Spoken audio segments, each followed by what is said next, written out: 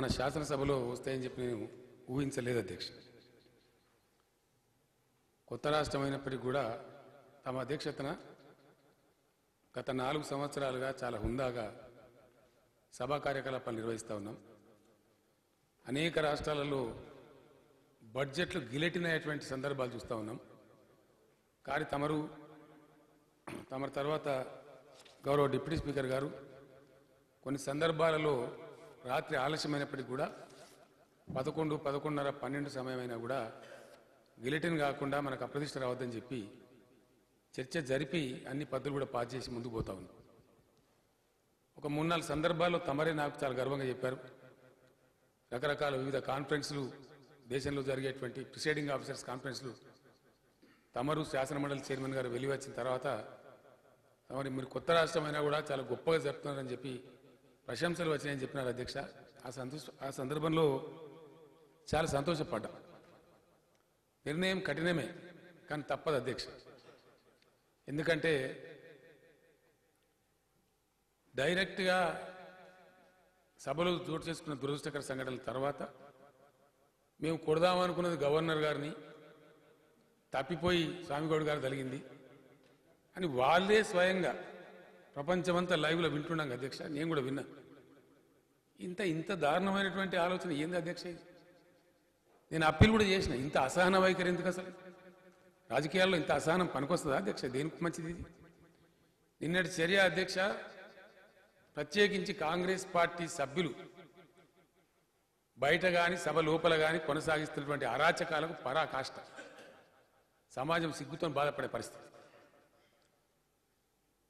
ఎక్కడి నుంచి స్టార్ట్ అయింది అధ్యక్ష? గవర్నమెంట్ వచ్చిన తర్వాత ఫిఫ్త్ డే అధ్యక్ష ఐదవ రోజు ప్రధానమంత్రి గారిని కలవడానికి మర్యాదపూర్వకంగా రాష్ట్రపతి గారిని కలవడానికి నేను ఢిల్లీ వెళ్తే ఇక్కడ మా జెండా దిమ్మలు కూలగొడతా ఉన్నారు. నా దిష్టి బొమ్మలు తగలబెడతా. ఐదవ రోజే.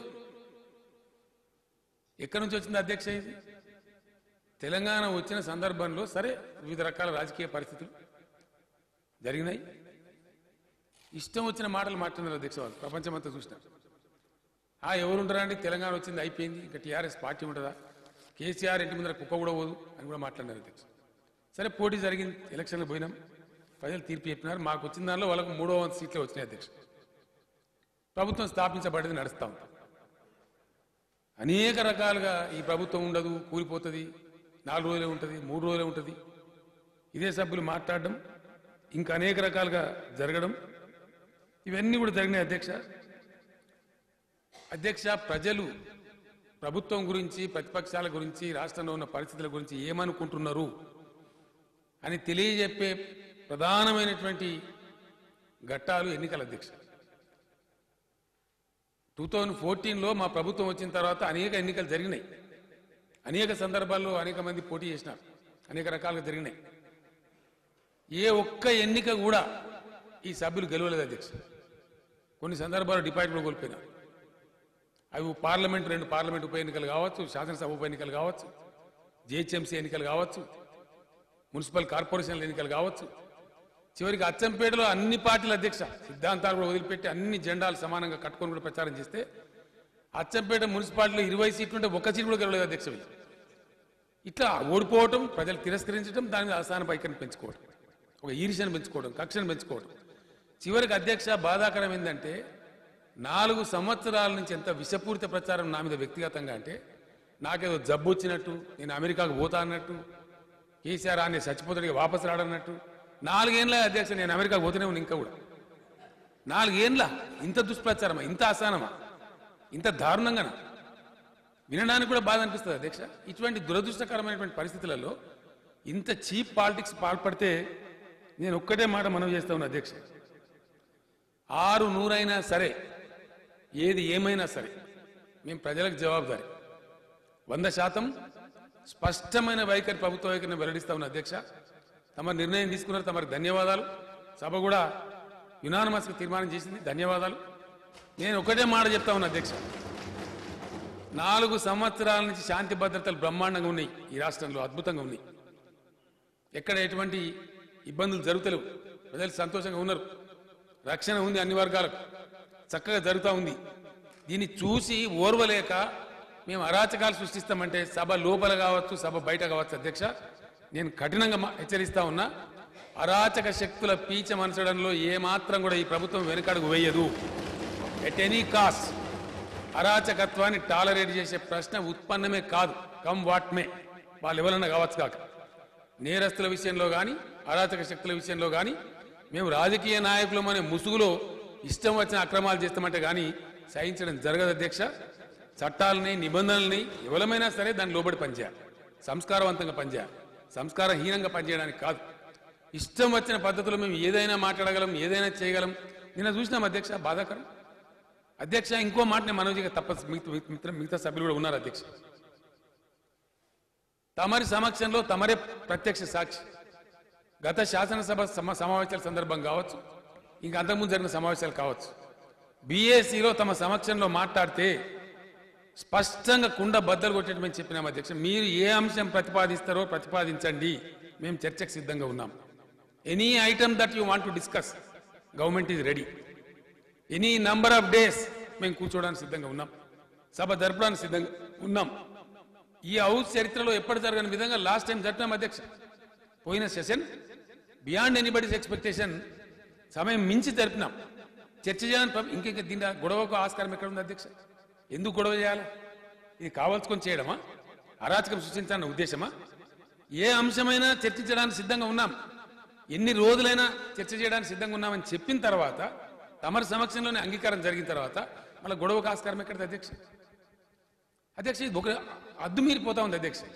తమరి సమక్షంలో బీఏసీలో ఒప్పుకుంటారు. వాయిదా తీర్మానం క్వశ్చన్స్ అనేవి సభ్యుల యొక్క ప్రాథమిక హక్కు. ఖచ్చితంగా క్వశ్చన్స్కి ఆన్సర్ రావాలి.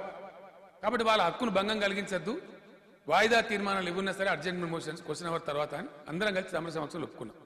మళ్ళీ ఇక్కడ వచ్చి అరాచకం అధ్యక్ష మళ్ళీ మేము ఇస్తాం జబర్దస్తి చేస్తాం లాస్ట్ స్టేషన్ కూడా చేసినాం. సరే అవి చిన్న విషయాలను టాలరేట్ చేసినాం. కానీ నిన్న తమరికి మనస్తాపం కలిగే విధంగా స్వయంగా కౌన్సిల్ చైర్మన్ గారు ఆసుపత్రి పాలయ్యే విధంగా అది కూడా ఎట్లా మాట్లాడతారు అధ్యక్ష? ఇంత నిర్దాక్షిణ్యంగా మాట్లాడతారు? చేసే అరాచకం చేసి ఇసిరి కొట్టి బల్లలెక్కి కొట్టి మార్షల్స్ అడ్డం అడ్డం ఉంటే కొట్టరాకపోతే బల్ల ఎక్కి కొట్టి నగ్నంగా ప్రజల ముందు బయటపడి నాటకం ఆడుతున్నారు చైర్మన్ గారిని మాట్లాడతారు అధ్యక్ష అది కూడా డెరిగేటరీ కౌన్సిల్ చైర్మన్ గారిని పట్టుకొని కౌన్సిల్ చైర్మన్ గారికి నాటకం ఆడాల్సిన అవసరం ఏమిటి అధ్యక్ష? ఎవరికి నాటకం ఆడాల్సిన అవసరం ఏమిటి అధ్యక్ష? నిన్న మీరు కామ్గా కూర్చుకొని ఉందాగా కూర్చొని చక్కగా ప్రవర్తించిపోతే ఎవరెందుకు నాటకం ఆడతారు? ఈ అరాచకం ఎందుకు వస్తుంది? ఈ దురదృష్టకరమైన సిచ్యువేషన్ ఎందుకు వస్తుంది? కాబట్టి ఎట్ ఎనీ కాస్ట్ అధ్యక్ష నేను ఇంకో మాట కూడా మనం చేస్తా ఉన్నా. నిన్న మాకు వచ్చిన సమాచారాన్ని మీకు అందించడం జరిగింది. మీరు కూడా కొంత ఇబ్బందికరమైన పరిస్థితి అని చెప్పి ముందు జాగ్రత్త చర్యలు తీసుకున్నారు అధ్యక్ష. లేకపోతే పరిస్థితి ఇంకో రకంగా ఉండేది. వాళ్ళు ముందే నిర్ణయించుకున్నారు అధ్యక్ష మాకు స్పష్టమైన సమాచారం వచ్చింది. ఈ హౌస్లో కూర్చుంటే మనకు అడ్వాంటేజ్ లేదు. మనం పారిపోవాలి. ఏదో వంక చేసుకోవాలి. లాంగ్ పీరియడ్ సస్పెండ్ చేయించుకోవాలి. గవర్నర్ గారి సభలోనే రభస సృష్టించాలి అధ్యక్ష నేను అందరు కూడా అప్పీల్ చేయడం జరిగింది. తమరు కూడా స్వయంగా ఫోన్ చేసి చెప్పినారు. మాకు చెప్పినారు వాళ్ళకు కూడా చెప్పినారు. ఒక నిర్ణయం తీసుకున్నాం మనం అందరం కలిసి ఐక్యంగా. తర్వాత తదనంతరం మనం మాట్లాడుకుందాం కొంచెం హీటెడ్ డిస్కషన్ ఉండవచ్చు. కానీ రాజ్యాంగ విహితుడు రాజ్యాంగ విధి రాజ్యాంగ బద్ధంగా అక్కడ రాష్ట్రపతి గారు ఇక్కడ గవర్నర్ గారు వచ్చి ఉభయ సభలను ఉద్దేశించి ప్రసంగించి సభలను ప్రారంభించడం అనేది రాజ్యాంగవితమైన విధి. ఆ పర్టికులర్ సందర్భంలో కనీసం మనం గౌరవాన్ని పాటించదాము మర్యాద పాటించుదాము అని అందరినీ కోరుకున్నాం అధ్యక్ష. లాస్ట్ టూ సెషన్స్ బాగా జరిపిన. కొంచెం డిసిప్లిన్కి పోయింది. తర్వాత మనం మాట్లాడుకుందాం.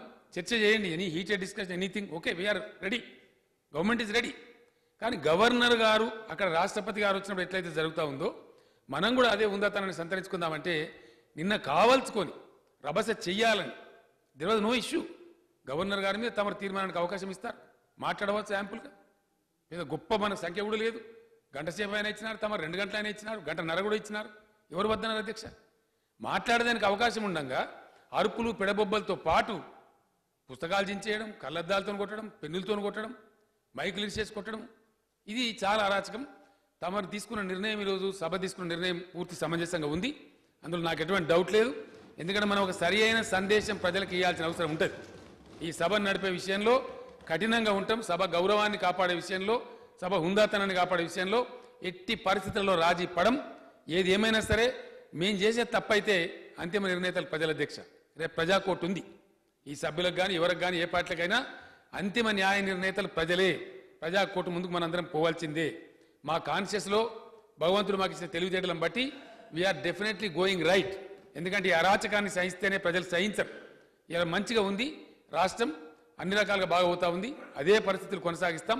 అదే విధంగా ముందుకు తీసుకొని పోతామని మనవి చేస్తూ తమరు సరి అయిన చర్య తీసుకున్నందుకు అభినందన కూడా తెలియజేస్తూనే విరమిస్తాను అధ్యక్ష.